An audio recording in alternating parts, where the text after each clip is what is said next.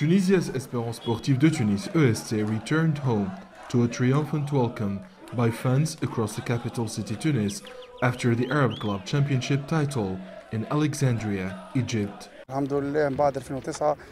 Our club has displayed again that it plays for titles. The players and staff have our full support. The team and top officials have also met President Beji Caid Essebsi at the Carthage Palace after an exceptional achievement. We are proud of this exceptional recognition by the Tunisian people and the President of the Republic. We'll do more to please our fans. Esperance won five matches in the regional competition.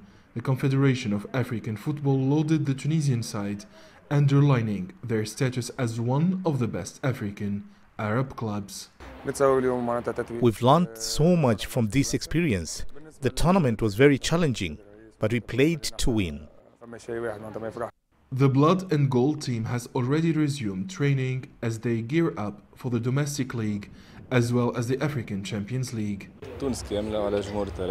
We've won all titles, but we don't have time for holidays. We are now training to remain competitive at the local, continental, and international level.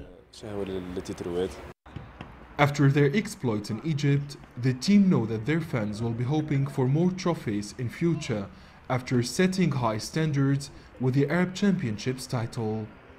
Tunisians hold their sportsmen and women in high esteem as true ambassadors of the country.